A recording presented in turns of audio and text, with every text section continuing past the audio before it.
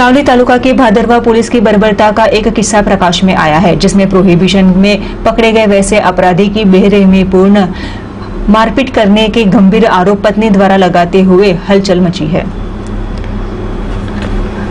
Police की बर्बरता का एक और किस्सा प्रकाश में आते हुए पुलिस विभाग में हड़कंप छाया है, जिसमें सावली तालुका के भादरवा पुलिस द्वारा एक अपराधी की बेरहमीपूर्ण मारपीट करने के गंभीर आरोप अपराधी की पत्नी द्वारा लगाते हुए पुलिस विभाग में हलचल मची है।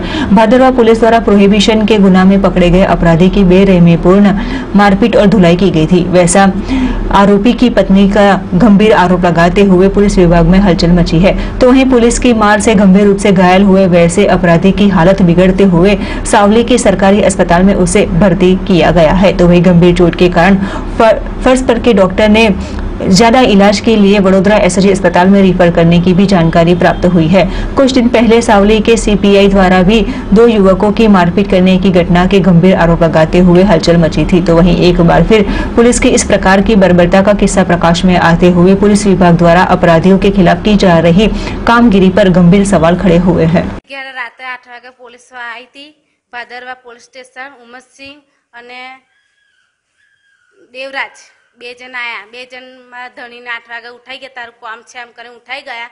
તઈ જઈ અને બીજા માર ચડાવી દીધા. પછી મેં તઈ જઈ તો એ લોકો એટલા બધા મારતા હતા ગ્વાલી ગ્વાલીને મારતા હતા એમને. અને બાબરા જલીને દિવાલની મેં ઘસી કાઢી મોડું તો આ બધું મગજમાં વાગ્યું છે, પછી પાછળ દિમાગમાં વાગ્યું છે, પછી અહીં બૂટના માર માર્યા છે, બૂટ પહેરીને ઉપર ચડીને ગોલી કાઢ્યો છે મારા ધણીને. તો એ મેં પગે લાગતી હતી કે મારા ધણીને આટલું બધું ના મારશો, જે થયું હોય એ અમને કહો, તો એનું આગળ કાર્યવાહી થાય. તો એ લોકો કશું કીધું ના મને અને મારવાનું ચાલુ કર્યું દેવરાજ અહીં પગો આગળ બેસી ગયો અને પાછળ ઉમેશસિંહ બૂટ પહેરીને બૂટના માર મારતો હતો. પછી અહીં છાતીમાં ગુબ્બા માર્યા. આમ લાતોને ઢીકો મારી. પછી અહીં કોહાડીને માર્યું છે એવું. લાત એક જણો ઊભો રહીને ઉપર ચડીને વાહડી પર. ત્યાં બધો હોજો આવી ગયો છે મારા ઘરવા અત્યારે બોલવાની એમની હોશિયાત નહીં આ ખવાતું નહીં ગાલમાં આ બે તમાચો મારી છે તો કોનમાં દુખાવો થઈ ગયો છે એમને? પગોન મેં બૂટ પહેરીને માર્યું છે ત્યાં બધા તરિયા તોડી કાઢ્યા છે મારીને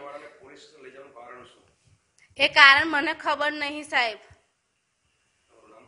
મારું નામ રેખા છે. મારા ત્રણ ત્રણ છોકરા છે.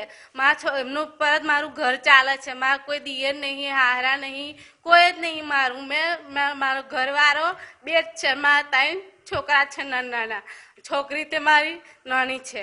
મારી છોકરી ને મારા બે છોકરા. હવે મારે શું કરું? મારા ઘરવાળા આટલો બધો માર્યો છે, તો પછી મારે કઈ જવું? હું કરીને મારા છોકરાને ખવડાવવા આટલા મહિના પછી? કેટલા મહિના સારું થાય મને શું ખબર પડે?